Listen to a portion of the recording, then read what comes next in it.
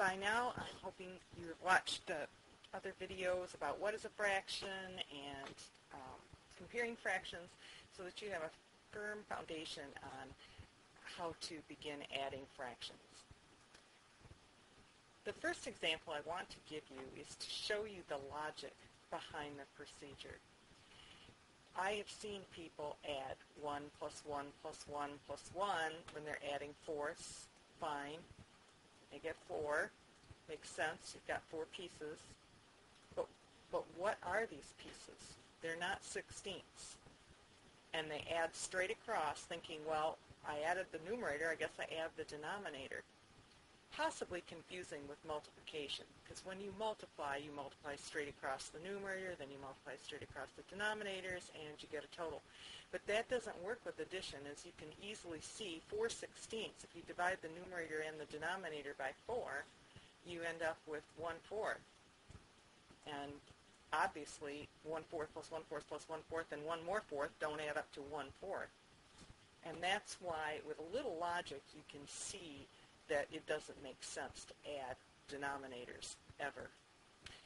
So here's another example where you have two fourths. One fourth and one fourth makes two fourths. You wouldn't add them together and say, oh, you have two eighths. No, you, you don't have any eighths here. You have two fourths. That concept of adding things that match, counting things that match, count, that goes all the way through algebra you have to have things that match to add them together. You can't add three buses and two frogs and say that equals five frogs. It doesn't work. So what you do is you add the pieces, you count the pieces.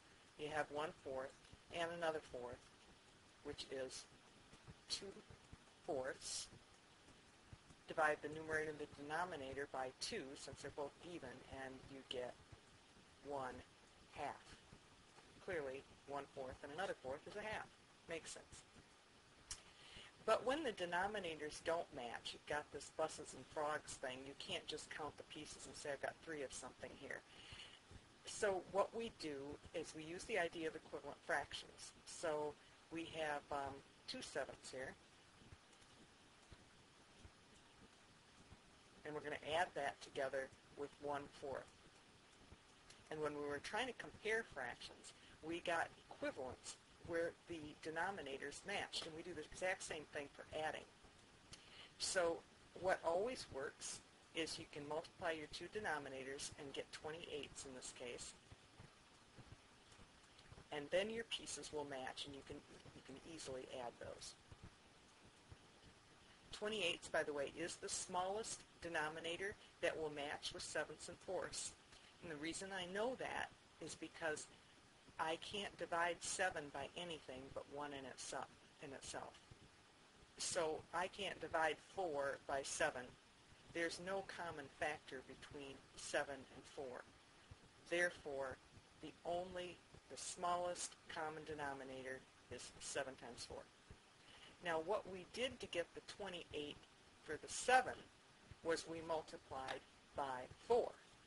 And what we do to the denominator, we have to do to the numerator. We can't just say 28, uh, 2 over 28. I've seen kids do that. They just put 2 over the 28. They just put it there. Well, 2 sevenths clearly is not the same as 2 28ths. So you can see why it's okay to multiply the numerator and the denominator by the same number because really you're just multiplying by 1. Multiplying anything by 1 doesn't change it. So the value of 2 sevenths is the same value as 8 twenty-eighths. And the 4 we multiplied by 7, so we have to do the same to the numerator, and we get 7 twenty-eighths, which is equivalent to 1 fourth. Grand total then is 15 twenty-eighths. 15 and 28 have no common divisors, no common factors, so that is our simplified form, and we're done you have a common denominator, the beauty of it is you don't really have to worry about it anymore. If you have all eights, then you know that your answer is going to be so many eights. So really all you're concerned about from that point is the numerator. You only need to worry about the numerators. So 1 and 3 make 4. Take away 4, you get a 0. 7 plus 6 is 13. So your answer is 13 eighths. Now let's go on to some other examples here. I took these off a worksheet.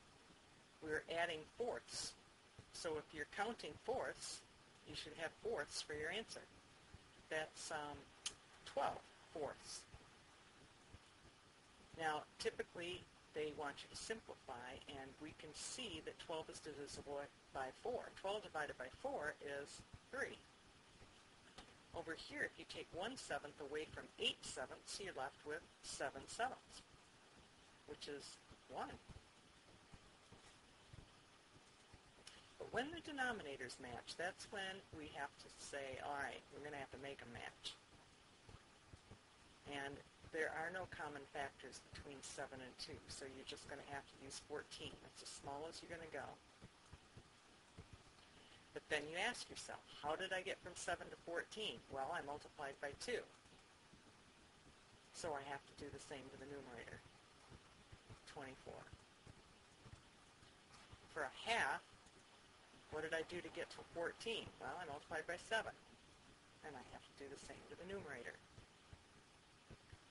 Again, I want to stress, you cannot just say 12 fourteenths is the same as 12 sevenths think about that, that doesn't make any sense at all. You have to do the same thing to the numerator as you do to the denominator, and that works because then you have 2 over 2, you're multiplying by 1. Multiplying by 1 does not change the value, it just changes the way it looks. So the total of 24 fourteenths and 7 fourteenths is 31 fourteenths. Since your numerator is larger than your denominator, we call this improper. It's more than 1. You could turn that into a mixed fraction, but that's another video. Let's look at this one. Now, we could go to 32nds because 8 times 4 is 32. We could do that. However, at this stage, I really need you to start thinking in terms of the smallest common denominator because in algebra you're going to be working with letters, not numbers, and you can't just multiply things. You'll get humongous terms that are impossible to work with. You need to be able to say, okay, what's the smallest number I can divide by 8 and also divide by 4? Well, 2 times 4 is 8. They match just if I, I do that. I don't have to do anything to this fraction. 2 times 4 is 8. That's the smallest. And what I did to the denominator, I could do to the numerator. And the 9, well, that's already 8s. So we don't have to change the 9 at all. In that case, we have 5 eighths. And there's nothing I can do to simplify that. Okay, in, this case, too, you're not going to go with 12ths too large, and you need to be able to recognize that there's something smaller here. And that is, we could multiply the numerator and the denominator by 3. And the 1 sixth does not need to be changed. And we get 8 sixths. Here we could just multiply by a 7 and get 14. So we have negative 7 fourteenths minus 13 fourteenths. Oh, it's all minus, all in the negative pile. That makes 20. Negative 20 fourteenths. Since the numerator and the denominator are both even, we know that we can divide out a 2 and it's important to do that. Some standardized tests will give you that number and it's not the right choice. You lose all the points for that problem if you don't simplify it and get the right choice.